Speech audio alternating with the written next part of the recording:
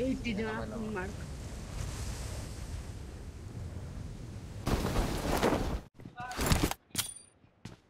मारा लोग को मारा बंदूक पैसा।